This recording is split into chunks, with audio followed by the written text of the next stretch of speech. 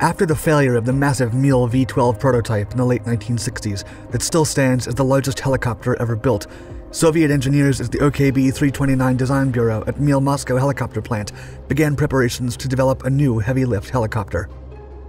Codenamed Izdeliye 90 and later designated Mi-26, this Cold War-era unmatched vehicle redeemed its predecessor and surpassed all expectations, becoming the largest helicopter in the world to actually go into production.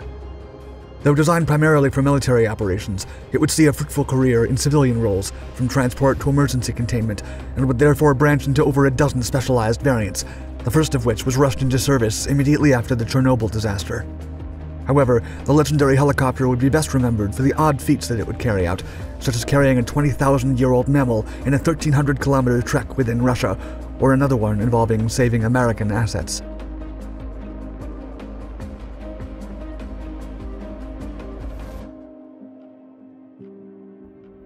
Big idea. Following the disappointing results of the Mil V-12 prototype, Soviet engineers set out to succeed with another ambitious undertaking, the Mil Mi-26 helicopter. A key requirement for the vehicle was that its empty weight needed to be less than half its maximum takeoff weight. Besides hopefully redeeming the Mil V-12, Mi-26 would replace the aging Mi-6 in both military and civilian roles. Notably, the Mi-26 had twice the cabin space and payload of its predecessor, which used to be the largest and fastest production helicopter in the world. The Mi-26's primary use would be to transport military equipment to remote locations, like the 13-ton amphibious armored personnel carriers and mobile ballistic missiles. Hence, it was provided with an eight-bladed main rotor, the first of its kind. The most powerful helicopter in the world also required twin fireproof titanium Lotarev D136 series turboshafts of 11,400 shaft horsepower each, and its engines were placed atop the fuselage, abaft of the flight deck. Constant rotor was maintained due to the synchronization of outputs between both engines, but one could compensate for the other in case of failure to complete a task. Moreover, its main gearbox was unique. Although it was relatively light, at barely over 8,000 pounds, it could absorb 14,700 kilowatts. Such a feat was accomplished by a non-planetary split torque design with quill shafts for torque equalization.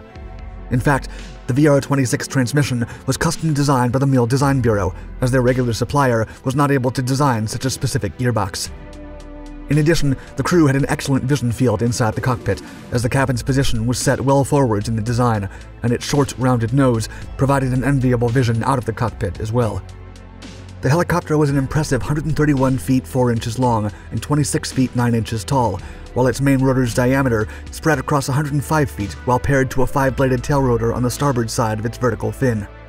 Remarkably, its maximum takeoff weight was 123,459 pounds, and the helicopter could reach 1,200 miles, while its service ceiling was 15,100 feet. Mi-26's complement included five crew members, but its capacity sufficed for 90 troops or 60 stretchers. Unmatched across the globe, Mi-26 flew for the first time in mid-December of 1977.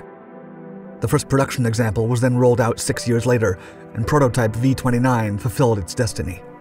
In 1981, it was showcased at the bi-yearly Paris Air Show and its development was completed two years later. Then in 1985, Mi-26 finally entered service with the Soviet Union, kicking off an illustrious career that would encompass routine military and civilian roles, as well as some of the most strange operations ever accomplished by any aircraft in the world. Operational Service Mi-26 was first considered a good fit for the Buran space vehicle program, Theoretically, the helicopter could bundle lift components for the reusable spacecraft, but as later test flights with a mock up showed, it was a highly risky and impractical maneuver. Still, the helicopter's first real world mission came about soon after it entered service, and it was a dire one. After the Chernobyl nuclear accident of 1986, a specialized version, dubbed the Mi 26S, was hastily developed to support the containment efforts. No less than 30 examples were deployed for radiation measurements, and they had to execute precision drops of insulating material to cover the infamous number 4 reactor. To achieve their objective, the models were equipped with a deactivating liquid tank and an underbelly spraying apparatus. Given the nature of the undertaking, the Mi-26S operated in the immediate proximity of the reactor. Hence, its cabin was protected with a filter system and screens to protect the crew, especially during deliveries of construction materials to the most contaminated areas. However, the most bizarre task the Mi 26 would carry out in its career was yet to come. In late 1999, scientists in northern Russia required a 25 ton block of frozen soil to be transported from the Siberian tundra to a lab in Khatanga, Taymyr. The enormous lump contained a valuable cargo inside a 23,000 year old preserved woolly mammoth. The Yarkov mammoth was found two years earlier in Siberia by a nine year old boy who gave it its name. Nevertheless, carrying the so called Mammoth Cube was such a gargantuan enterprise that after the mission was successfully completed, the Mi 26 had to be returned to the factory to check for airframe and rotor warping caused by potential overstressing. Another unlikely exploit, though one executed more discreetly, happened in early 2002. When the US Army launched Operation Anaconda in Afghanistan against Al Qaeda and the Taliban, two invaluable Chinook helicopters became stranded in a mountain. One was rendered irreparable, but the other could be recovered. However, even without its rotors, fuel, and non essential equipment, the aircraft weighed about 26,000 pounds. In comparison, the US Sikorsky could only carry 20,000 pounds at a height of 8,500 feet, which was where the Chinook was stuck. The US Army was then forced to ask for the help of the Russians, but they did so indirectly. The arrangement was made through Skylink Aviation in Toronto, which contacted a Russian company, Sportsflight, and leased a civilian version of the Mi 26 called Heavycopter. For only $300,000, the Russian helicopter recovered the Chinook and brought it back to safety. Half a year later, another American helicopter hard landed north of the Bagram Air Base, but the helicopters came to the rescue once again. However, a regrettable tragedy took place later that year when an overloaded Mi 26 was downed by Chechen separatists and crashed onto a minefield, taking the lives of 127 people. It was the most significant loss of life in the history of helicopter aviation. Still, the model is better known for its humanitarian and disaster relief roles. After the 8.0 Sichuan earthquake in China in mid 2008, a natural phenomenon called quake lakes threatened the lives of the survivors. Landslides blocked many rivers, and significant amounts of water pooled behind the dams. Those dams would eventually give in to the pressure and risk the lives of the people downstream. An Mi 26, operated by the Chinese Civil Aviation Service, then transported tractors to remove the heavy earth in the inaccessible Tangshan Mountain. Mi 26s have assisted in accidents or after malfunctions on several other occasions, carrying valuable vehicles back to safety. Its versatility would lead the Mi 26 to branch into a multitude of specialized variants that have redefined what a helicopter's role is.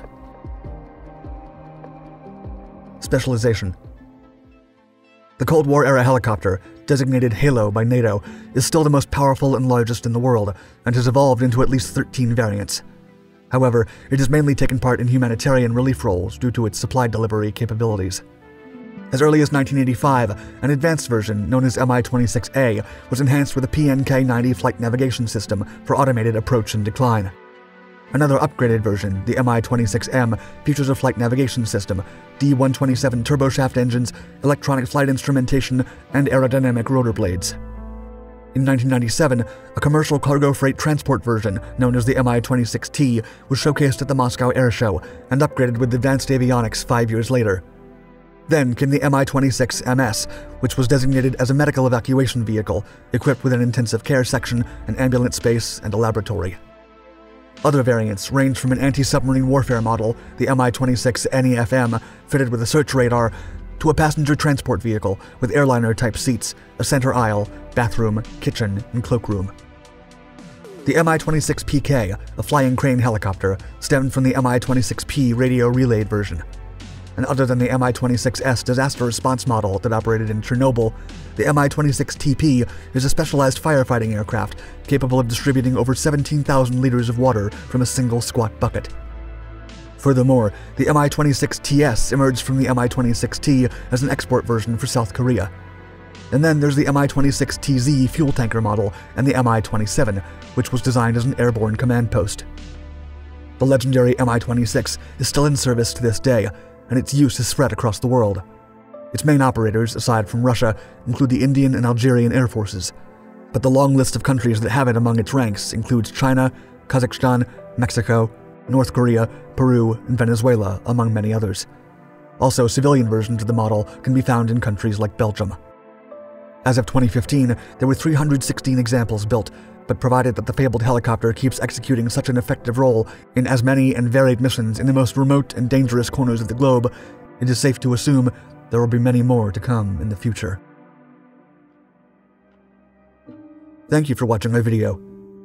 Please let us know your thoughts in the comments below and hit the like button and the bell icon to be notified of our newest videos. Also, don't forget to subscribe to all our Dark Documentaries channels for more military content from the annals of history. Stay tuned.